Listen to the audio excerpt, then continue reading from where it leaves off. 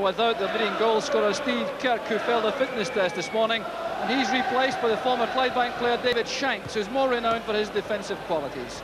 Dave McCabe joins Paul Kinnaird to make up a very pacey striking partnership, and they'll be depending on the midfield craft of the former Rangers star Bobby Russell, who's now 31 years old, but he retains the deftness of touch which served his former club so well for so long. And not surprising, the Rangers are unchanged from the side which beat Celtic in midweek, with Keith Drinkell and Mark Walters together again up front, looking to capitalise and service from a very powerful midfield of the two Fergusons, Wilkins and Brown.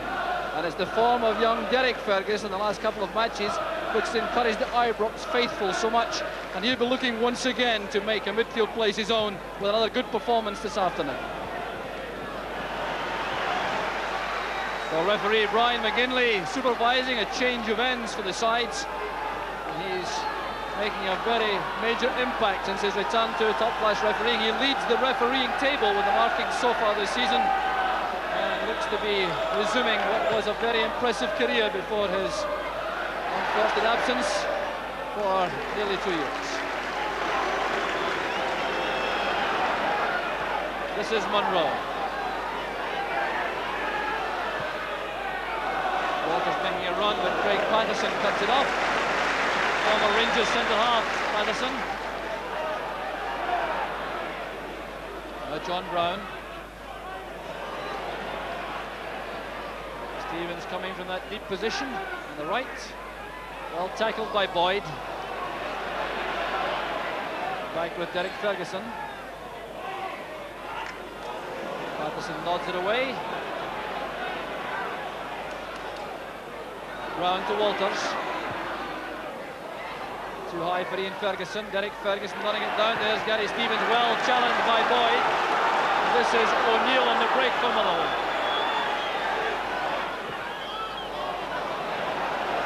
Looking for Bobby Russell on the right. Again, Rangers have possession. Crunching tackle from Wishart.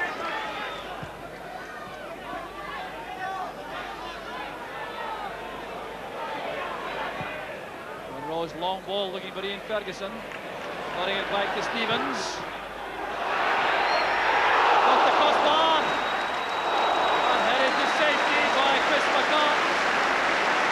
Ian Ferguson causing problems in that middle box. It was Stevens with the shot. Reaction there by Ian Ferguson came off the top of the crossbar. And did a courageous clearance by Chris McCart under the crossbar.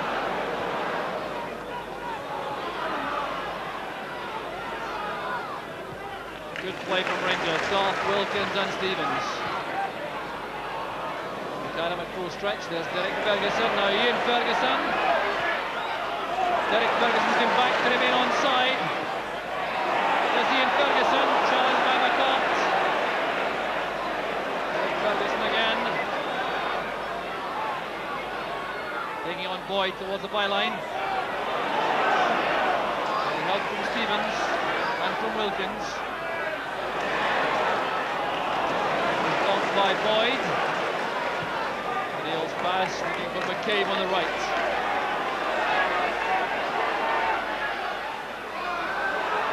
Cut off by Brown, back helping Stuart Munro. To Stevens. That's for Drinkell. McAdam goes in for the header. And the defender appears to have been penalised for that.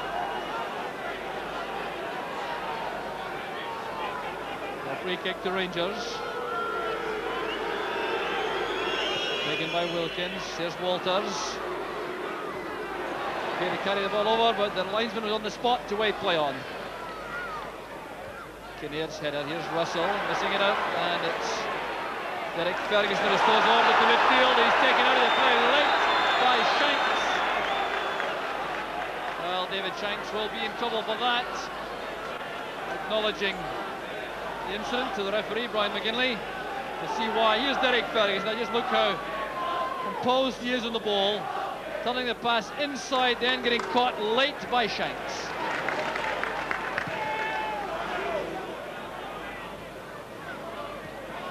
First time pass from Ian Ferguson to Walters. Taking on McAdam for the byline. There's Drinkell, challenged by Wishart, there's Ian Ferguson. And Walters comes in from what appears to an offside position. McCart rescues today again. An offside being given, I think. Just before the hero, there was Mark Walters. Drinkell looks up, the score until Wishart arrived. There was Ian Ferguson. Ferguson again, Maxwell the save. It was Walters who lofted it inside. The whistle had gone. The free kick to Motherwell. There's Wishart. There's McCabe now to Russell. Shanks making the run, but he was cut off by Gough.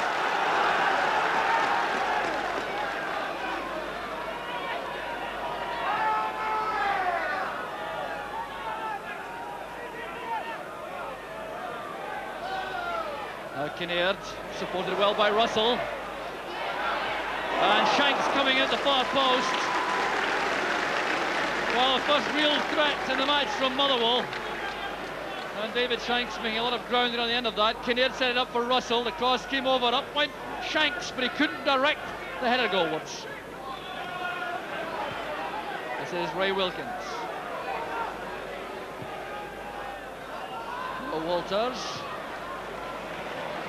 The Pass forcing Stevens to stop his run. Drinkell comes in. Kevin Drinkell, the Rangers. The pressure pays off in the end. 21 minutes into the first half. Getting his ninth goal of the season. And you'll see here, I'm sure, a misunderstanding in the Motherwell defence. Lofted in by Stevens. Two Motherwell defenders leaving into each other. Patterson McCart. Drinkell solved the problem with a diving header. And Rangers go in front. Rangers fans very happy once again. There's McCabe, he's onside this time. Certainly was a major blow to Motherwell after coping defensively with that early onslaught. McCart and O'Neill going for that ball with, Ray, with Mark Walters. And McCart again is in the wars. He has to take a boot in the stomach. It was Walters who was involved, although I don't think there's any intent here. Walters very high with a challenge nevertheless, and that's what caught Chris McCart. Chris McCart recovers. To be winded by that challenge. Motherwell free kick taken by Russell. And it's McCabe with a header. Good move that from Motherwell.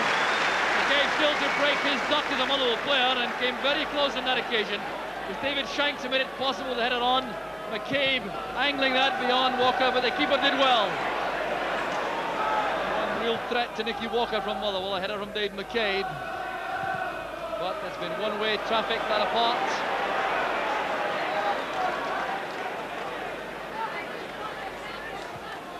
Russell lofting it forwards, and there's Stevens coming inside for Rangers, and the half-time whistle goes.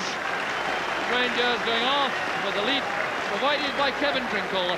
It came in the 21st minute.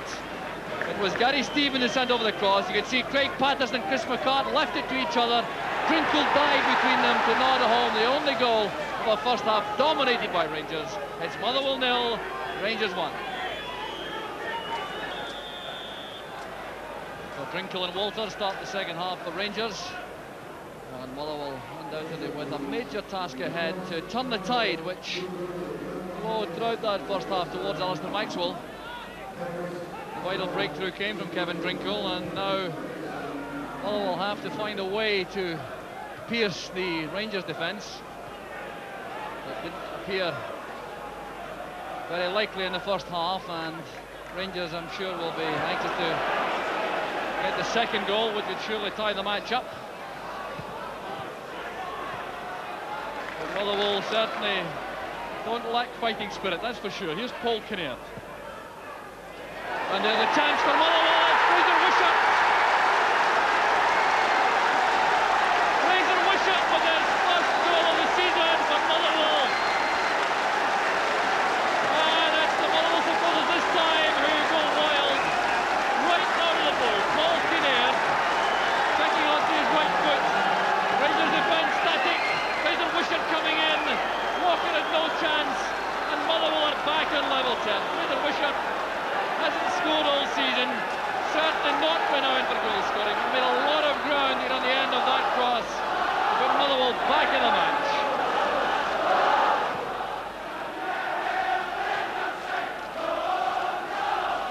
Noise now coming from the Motherwell fans. McCabe getting in behind Terry Butcher. Taking on Butcher to the byline, and that's well saved by Walker. Now that was just a glimpse of the explosive pace of David McCabe. But just look how he takes on a top-class defender, sprinting to the byline, and that's excellent goalkeeping from Walker. And the Rangers management, Walter Smith and Graeme Souness, must be a little bit concerned by the events of this second half. They may well be thinking about changing the pattern of play. The domination of the first half, not quite matched in the second period when Motherwell competed much better. And there's the first evidence of that concern. John Brown goes off, and the replacement is Ian McCall, former Dunfermline Athletic player.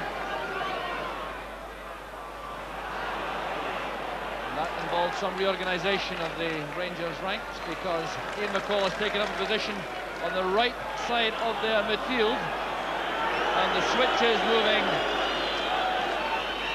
Ian Ferguson into a central position alongside Kevin Drinkell. With Walters going wider on the left. With Russell to Wishart. Impeded there by Munro right at the corner of the box.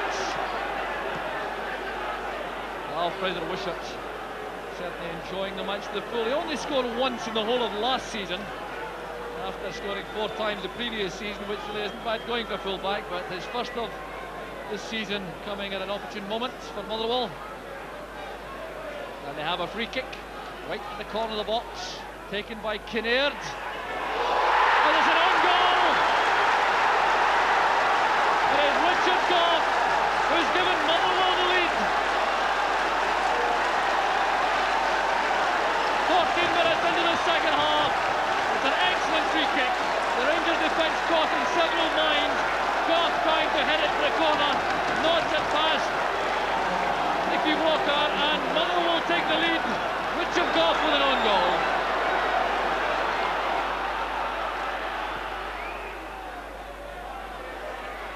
Here's Dave McCabe. Russell inside to Wishart. Free kick against Wilkins. Obstruction on Wishart. Fraser Wishart really cannot get into attacking positions often enough. Causing problems every time. He comes forward, Craig Patterson, Chris McCart, numbers four and six, going into the box for Motherwell. Led in by Kinnaird, there's McCabe! Dave McCabe for Motherwell! The goal is chopped off! It's being chopped off for offside. Led in by Kinnaird. Well, it wasn't Dave McCabe who was offside. It was Chris McCart who was penalised. And what a let-off that is for Rangers. McCart's header. Gary Stevens, got straight to McAdam. Eugene McCall. Stevens goes ahead to make a decoy. Pringle. Derek Ferguson reacted well. Here's McCall again with Gary Stevens on the outside. Maxwell full stretch. And a fine piece of goalkeeping by the young keeper. Good build up this from Rangers. McCall to Stevens on the run with a first time cross. Maxwell had to take that cleanly and he did so under pressure.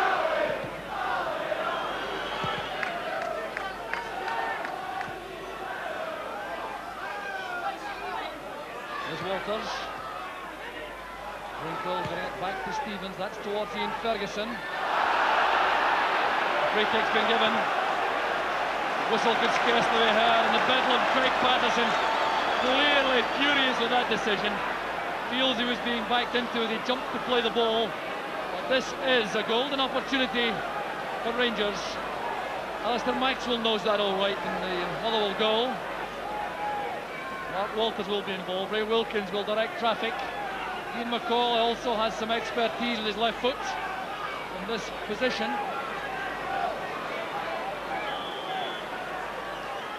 Walters takes it. And it'll be taken again. There was encroachment by the Motherwell wall. Advanced too quickly before the shot was taken. So Motherwell have to defend again against this set piece from Rangers. Will it be Walters this time or may he leave this? And it's brilliantly saved by Maxwell. What a superb effort this was from Mark Walters. Angling in under the crossbar. It's Maxwell at full stretch to save the day for Motherwell.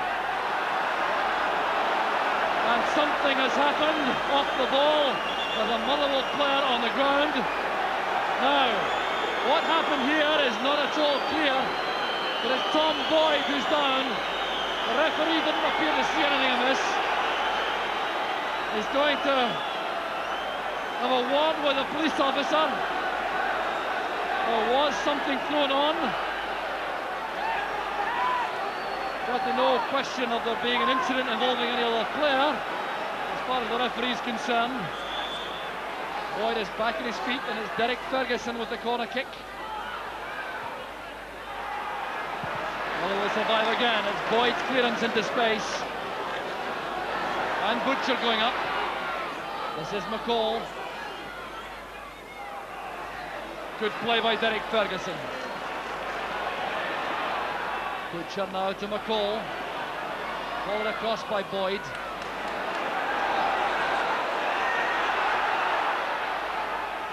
Tussle they're having out there, Boyd and McCall. Still Rangers in possession though with Butcher. McCall another chance to take on Boyd. A fine cross, but Patterson's there. Israel Wilkins and Gough. Linking with Derek Ferguson, and a chance for Ferguson! Ian Ferguson with a first time effort. We see this again, you'll see how much space and time Ian Ferguson had. He could have controlled the ball and gone forward, but snatched at it on the half volley. And the offside flag halts Paul Kinnaird.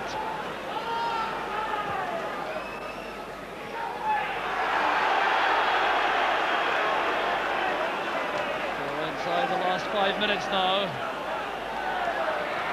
Middle defence they'll have to battle for the last possible second. Up